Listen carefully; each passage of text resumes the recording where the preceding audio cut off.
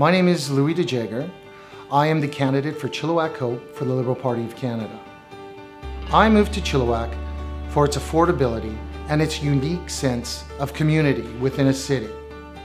There is that uh, feeling of being at home wherever you are, whether it be in the mountains, hiking, on the rivers, or just talking to somebody in the supermarket. You can always turn around and there's somebody there.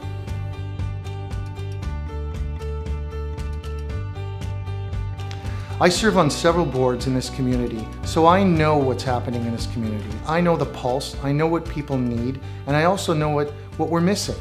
We don't have the cooperation from the federal government that we do at either a municipal or a provincial level. We need somebody who's going to be the glue, who's going to bring everybody together and work together on problems. That's the kind of representation that we need in Ottawa, not Ottawa's message coming to Chilliwack. For over a decade now, I've owned Bravo Restaurant and Lounge.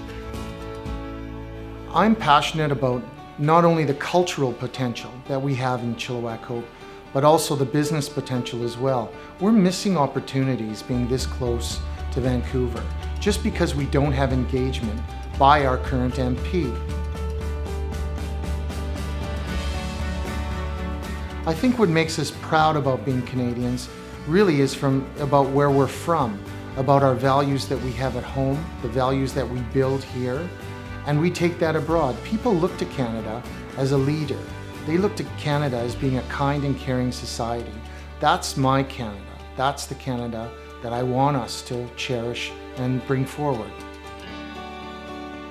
Join me and together we can build a better Chilliwack Hope.